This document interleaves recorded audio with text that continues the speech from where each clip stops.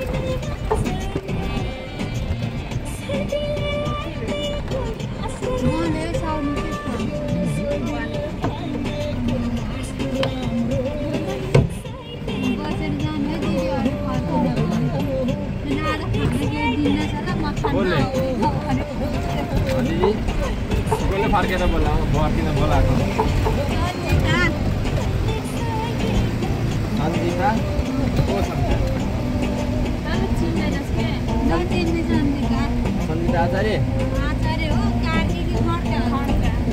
अनि फर्किँदा चाहिँ कहाँ उसमा बस्छ?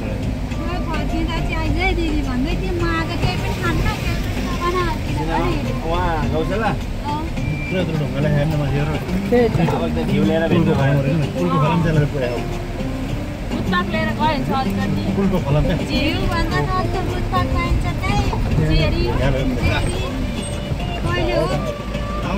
ब्याकै हुन्छ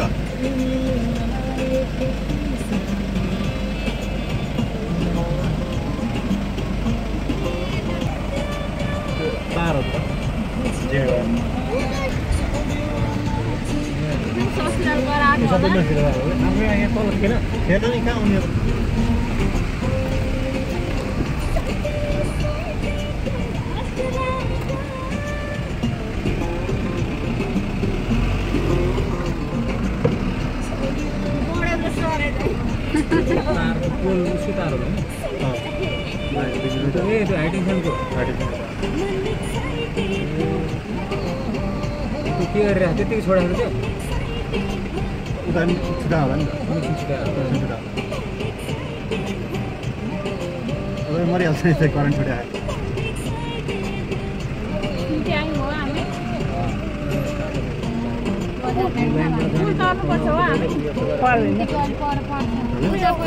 यता पर्दैन